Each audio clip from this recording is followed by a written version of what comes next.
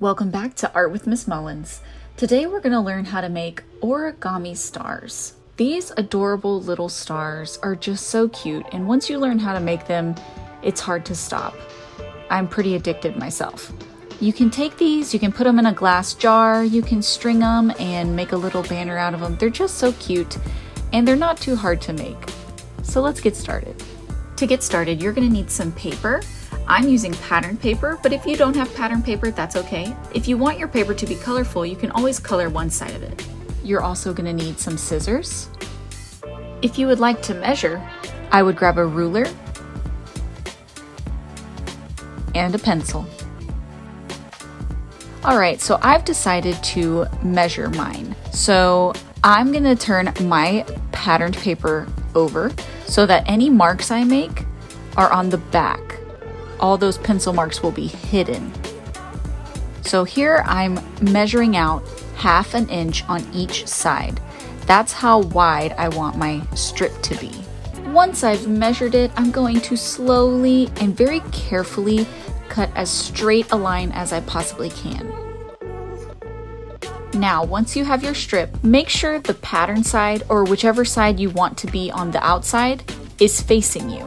You're gonna start by taking the top of the strip and bringing it down, sort of making a U shape. Be sure not to crease anything at this point. Next, you're gonna take that strip and fold it over, making it look sort of like a ribbon. Then you're gonna take that little end that you started with and tuck it in and pull. Don't pull too tightly. We're just trying to get our edges all aligned and get nice seamless points. This may take a while to do, it's okay. Just be patient with yourself and do the best you can.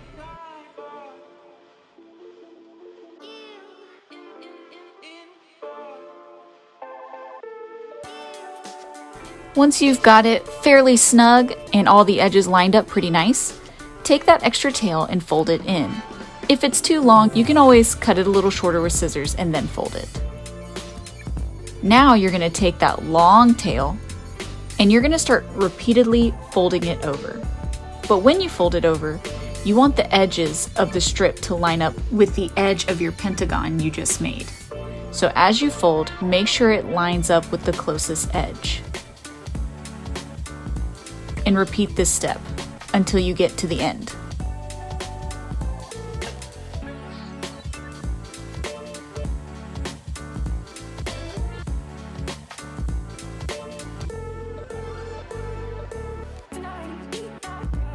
Alright, once you're at the end, you're to have a little tail. If the tail's a little too long, again, you can take scissors and snip it a little bit.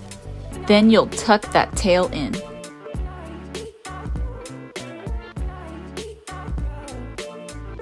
Now you should have a pentagon. Now you're to take your pentagon and holding it firmly, take your thumbnail and in between two points, push down, very gently. You're to do that all the way around.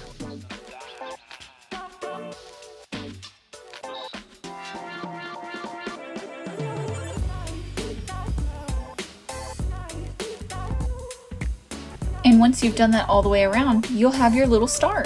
I hope you enjoyed making this cute little origami star with me today, and I'll see you next time.